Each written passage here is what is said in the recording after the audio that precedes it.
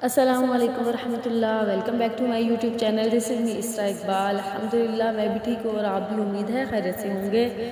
तो आज हम देखते हैं कि जन्नत के तलबगार तो अल्हम्दुलिल्लाह सब हैं और उसके लिए कोशिश भी करते हैं। तो हदीस में हमारे लिए जन्नत के ख़जाने की क्या बताया गया कि हम क्या पढ़ें तो हम जन्नत का ख़जाना हासिल कर सकते हैं। तो आइए देखते हैं, वीडियो को एंड तक ज़रूर देखें, सब्सक्राइब, लाइक एंड शेयर करें।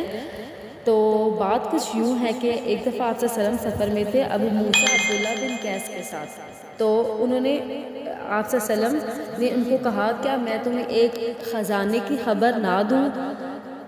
तो अबू मूसा अब्दुल्ला बिन कैस ने फरमाया, क्यों नहीं या रसूलुल्लाह, ज़रूर। तो आप सल्लल्लाहु अलैहि वसल्लम ने फरमाया कि ए अबू मूसा, अब्दुल्ला बिन कैस, ला हौला वला कुव्वता इल्ला बिल्ला, कहा करो, पढ़ा करो, यानी ये जन्नत के ख़जाने में से एक एक ख़जाना हमें हासिल हो जाता है कि जब हम कहते हैं ला हौला वला कुव्वत इल्ला बिल्ला, यानी अल्लाह के सिवा कोई ऐसी ताकत नहीं है हमारे इर्द गिर्द।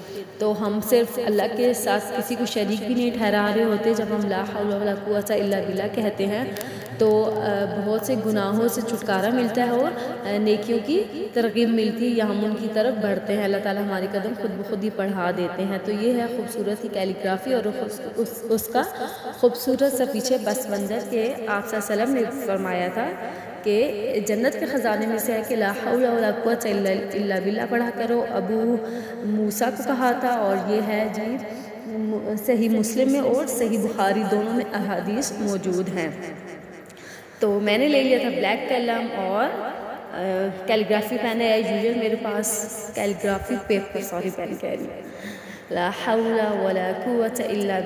मैंने इसको गूगल पे देखा था बड़ा प्यारा लग रहा था तो मैंने सोचा आपके साथ शेयर करूँ और इसकी जो फजीलत है, ला बिल्ला की भी शेयर की जाए।